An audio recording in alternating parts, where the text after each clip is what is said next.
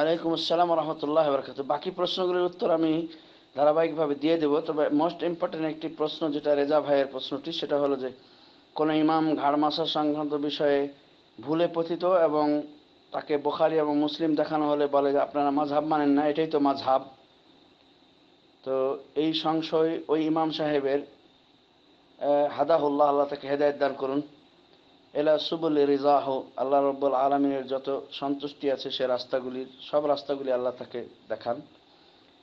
আমি বলব যে, ভাই, গোড়ামি ছেড়ে বের হয়ে আসেন, গোড়ামি গোড়ামিকে বাদ দিয়ে বের হয়ে আসেন, মুক্ত মুক্ত চিন্তায় এবং অন্তরটাকে প্রশস্ত করেন ইমাম সাহেব। তাহলে আপনি দেখতে পাবেন যে আমরা কেহ বোখারি বলেছে বলে আমরা মানি না।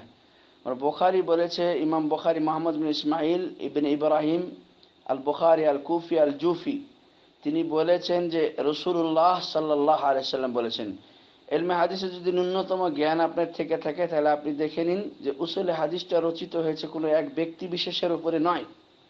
সমস্ত মহাদিসিন কেরা মুজমা আলেহ মুত্তাফাকুন তারা একত্রিত হওয়ার পর তারা তাদের অধিকাংশের মতকে এটার মধ্যে এই উসুলে হাদিসের উসুল হাদিস বলে গ্রহণ করা হয়েছে।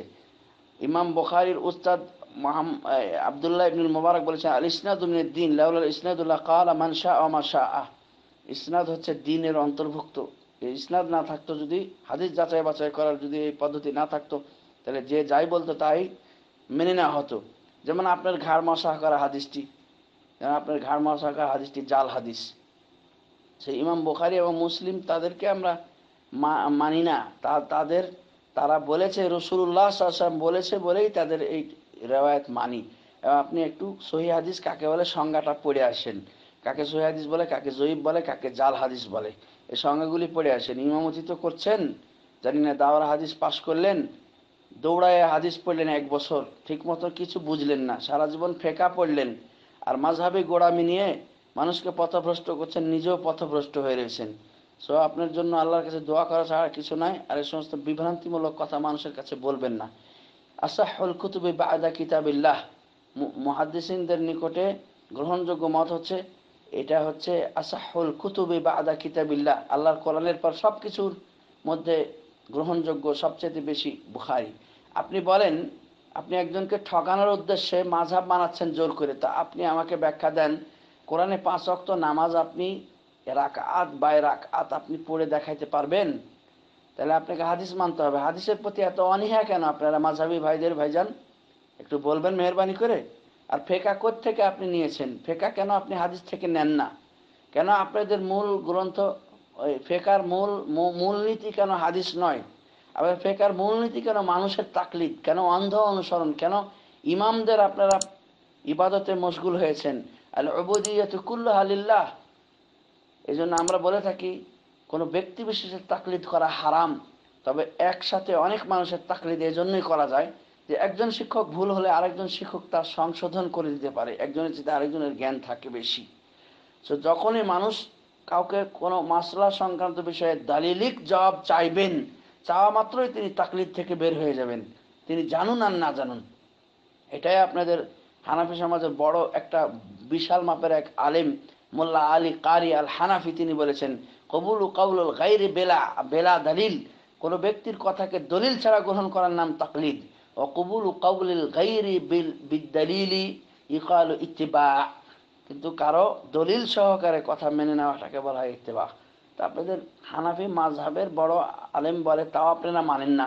ইমা আবু হানিফার কথাও আপনারা মানেন না। ইমা আবু হানিফা বলছেন, সহি হাদিস যখন পাবা ধরে নিবা, সেটা আমার মাঝহাব আচ্ছা আপনারা তাও তাকেও মানেন না। তাহলে আপনারা আসলে মানেনটা কি আপনারা ভাই? আপনারা কোন মাঝহের ওপরে আছেন ভাই? দুঃখ লাগে যে আপনাদের, আমি একটু হার্ডলি বা কড়াভাবে বলতে চাই না। আসলে আপনাকে একটা কথা দিয়ে উপদেশ দেব যে আল্লাহর কথা মেনে নিন। সোরা আরাফের তিন নম্বর আয়তে আল্লাহ বলছেন, ইত্তাবিউ মা উনজিলা ইলাইকুম মির রাব্বিকুম। তোমাদের রবের পক্ষ থেকে যা এসেছে তার উপরে তার তোমরা অনুসরণ করো। আর তোমরা তা বাদ দিয়ে যা তোমাদের রবের পক্ষ থেকে নাজিল নাজিলকৃত হয়েছে, তা বাদ দিয়ে আউলিয়াদের অনুসরণ করো না। ও ভাই দাওরা হাদিস পাশ করছেন, আরবি তো ভালোই জানেন। অলির বহু বচন আউলিয়া। ওলিয়ুন ওলিয়ানি আউলিয়া। তা আউলিয়া বলতে আপনি কি বুঝেন? আউলিয়াদের অনুসরণ করতে আল্লাহ মানা করলেন। আর আপনি আউলিয়াদের অনুসরণ তো, অনুসরণ শব্দটা, ইত্তেবা শব্দটা ভালো শব্দ। তারপরও ইত্তেবা শব্দটি শব্দটি ভালো হওয়ার পরও সেটাকেও ধরেন যে আপনারা গ্রহণ করছেন না, সরাসরি তাকলিদি চলে যাচ্ছেন নাউজুবিল্লাহ আল্লাহ ইত্তেবা করতেও নিষেধ করছেন আউলিয়াদের। আর সেখানে আপনারা তাকলিদ করছেন যে তাকলিদ পশু, পাখি, বাহায়েমের ক্ষেত্রে আল্লাহ ব্যবহার করছে। ওয়ালাল কালাইদ সূরা মায়েদাতে দেখেন, কাল্লাদাল গানামা হ্যাঁ এখান থেকে তাকলিদ, এই তাকলিদকে আপনারা মানেন মানুষের জন্য? নাউজুবিল্লাহ। আপনার কত সংকীর্ণতা মনের ভিতরে রয়েছেন ভাই। আর একজন হকপন থেকে আপনারা কুপকাত করার জন্য কানা খোড়া অজুহাত তৈরি করে বসে থাকেন। একটা দলিল দিতে পারেন না, সোজা কোনো দলিল আপনাদের কাছে নেই, সোজা কোনো প্রশ্নের উত্তর নেই। আপনার মানুষকে বিভ্রান্ত করছেন ইমাম সাহেব। আল্লাহর কাছে, আল্লাহকে একটু ভয় করেন। ইত্তাকিল্লাহ ইত্তাকিল্লাহ। ঘাড় মাসাহ করার হাদিস আপনার কাছে আছে, সহি হাদিস? কোথায় পাইছেন আপনি? দেখান তো সহি আল্লাহ রসুল আল উজনান মিনার রাস। কান দুইটা হলো মাথার অংশ বেশি। এই জন্য মাথা মশা করার পর আলাদা নতুন করে পানি নিতে হবে না কান মশা করার জন্য। আপনারা ঘাড়ও মশা করে দিলেন। বা গাড়ি ময়লা থাকলেও সেই জন্য আপনি ঘাড় মশা করবেন। সারা পুরা শরীরটা গোসল করে আসেন। একটা ময়লায় থাকবে না। তারপর ফর্মালিটি মেনটেন করার জন্য উজু করেন। ঘাড় কেন মশা করবেন ভাই? এটা কোন যুগে পাইছিলেন? ওই যে ওই যে আপনার বেহেস্তি জেওয়ার নামক কিতাবে আর ওই আশরাফ আলী থানবি কথিত তিনি নাকি হাকিমুল উম্মা তার লেখা থেকে তো পাইছেন। এটা তো রসুল্লাহ কল নয়। এটা জাল হাদিস। মা উদিফা ইলা নবী সাল্লাহ আলাইসাল্লাম কাজিবা সমস্যা হচ্ছে আপনারা এই কমিরা দাওয়ার হাদিসেরা, এরা উসুল হাদিসের দিক দিয়ে এত মূর্খ, এত নিরেট অজ্ঞ আপনারা, এত কম আপনাদের এই শিক্ষাগুলি, যে আপনারা সারা জীবন ফেকা পড়ে এক বছর দৌড়ায় সব হাদিস পড়ে শেষ করার চেষ্টা করেন। আর আপনাদের এই সমস্ত ভ্রষ্টতাতে মানুষ ভ্রষ্ট হয়ে যাচ্ছে। আপনারা দেওবন্দি মাসলাক অনুসারে লেখাপড়া করেন, অথচ দেওবন্দি মাসলাকের আপনারা কখনোই তল তলিয়ে দেখলেন না যে কোরআন এবং সুন্না বহির্ভূত কত মাসলা নিয়ে বসে আছে দেওবন্দি মাসলাক। কত মূলনীতিতে পার্থক্য ইমাম ইমাম ইমাম আবু হানিফা রহমতুল্লাহ আলহের সঙ্গে। দুঃখ দুঃখ লাগে ভাই আপনাদের এই সমস্ত এলেমের দৌড় দেখে আর আপনাদের এই ধরনের সহি হাদিসের বিরুদ্ধাচরণমূলক কথা বলার ক্ষেত্রে। যে আপনারা বলেন ইমাম বোখারির হাদিসের জয়ীফ আছে হ্যাঁ? আপনি বাপের বেটা হলে একটা হাদিস আপনি সানাদান প্রমাণ করেন যে এটা জয়ীফ হাদিস। তারপর দেখব আপনি বেটা কত বড় দাওয়ার হাদিস পাশ করে এসেছেন। আর কড়া করে কথাগুলি আমি হক প্রচারের স্বার্থে বলেছি ভাই। সেজন্য যদি আপনার মনে কোনো দুঃখ পেয়ে থাকেন, আপনি আমাকে মাফ করবেন। আল হাক হাক আন ইত্তাবা। এই প্রবাদটা মনে রাখবেন সবসময়। হক হচ্ছে, হকের হক হচ্ছে যে তাকে অনুসরণ করা। না হককে হক বলা নয়। সারা জীবন আপনারা দৌড়ায় একটা সুন্নতকে বেদাত সাব্যস্ত করতে পারবেন না।